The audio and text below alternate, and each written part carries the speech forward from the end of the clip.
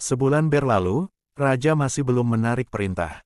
Namun, putra mahkota tidak kehilangan akal, dia tetap menyelidiki tentang pencuri Byeokcheon, dengan cara memberi perintah yang diselipkan di buku saat dibawa Jae Yi dari perpustakaan.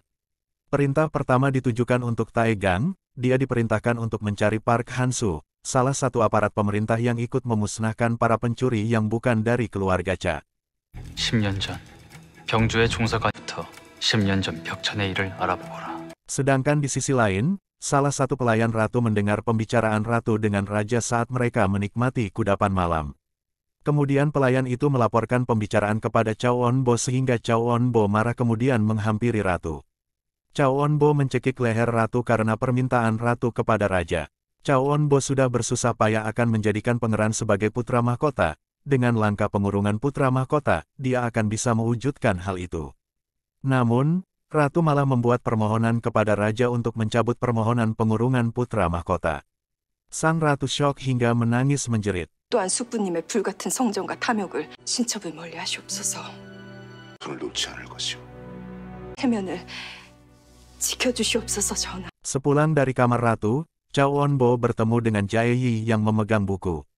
Dia mendekati Jae Yi seakan tahu jika di dalam buku ada sesuatu yang berasal dari putra mahkota. Dia menarik kerah Jae Yi dan mengatakan bahwa dia mengetahui Jae Yi bukanlah Go Sun Dol yang asli. Jae Yi sedikit ketakutan karena di dalam buku terdapat surat yang akan dikirimkan kepadanya Han Seon On. Untung saja, keadaan diselamatkan oleh Han Seon On. Ketika Chow On-bo pergi, Jae Yi memberikan surat putra mahkota kepada Han Seon On. Kali ini perintah yang diberikan kepada Han Seon On bukan tentang Byeokcheon, tetapi tentang ide untuk mengeluarkan putra mahkota dari Istana Timur. Ide itu adalah membuat para mahasiswa Akademi Konghucu berdemonstrasi meminta putra mahkota untuk menghadiri upacara memanah formal agar dapat melakukan perluasan buku.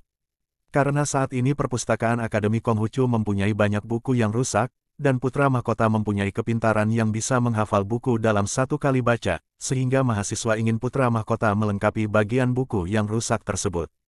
Tanpa pikir panjang, Han Seo-on melaksanakan tugas itu. Dia mewakili putra mahkota bersama Jae Yi datang ke desa garis keturunan untuk meyakinkan seorang mahasiswa Akademi Konghucu. Sesampai di sana, mereka bertemu dengan Kim Yong Jun dan Garam yang sedang menyebar rumor bahwa putra mahkota akan ikut dalam upacara memanah formal agar banyak mahasiswa yang ikut. Setelah itu, mereka menemui mahasiswa yang bernama Yang Yi, salah satu sepupu dari keluarga Cha tetapi mempunyai prinsip bertolak belakang dengan Cha Wonbo mahasiswa ini akan menjadi dalang demonstrasi. Demonstrasi pun diadakan. Raja memberi perintah untuk melepaskan putra mahkota. Semua kasim dan pelayan tersenyum.